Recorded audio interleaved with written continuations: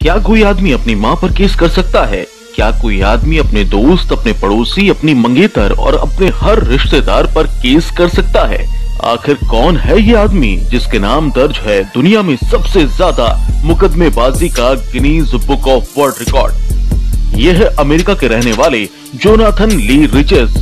इससे पहले कि ये आप पर भी केस कर दे, उससे पहले इस वीडियो को लाइक और चैनल को सब्सक्राइब कर दो और बेल बटन भी तुरंत दबा दो।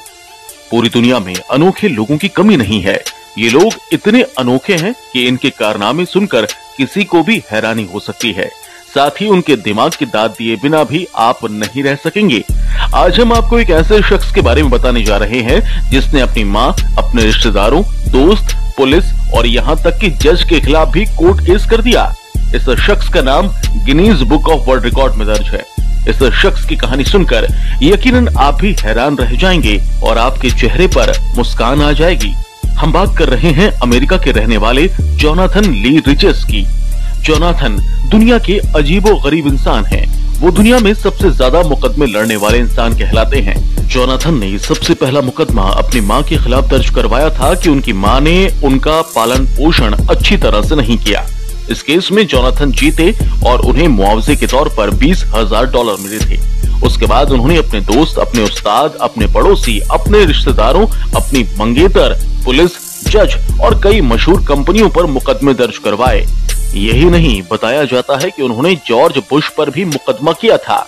अलग अलग अदालतों में उनकी तरफ़ से दाखिल किए गए मुकदमों की संख्या 2600 के करीब है।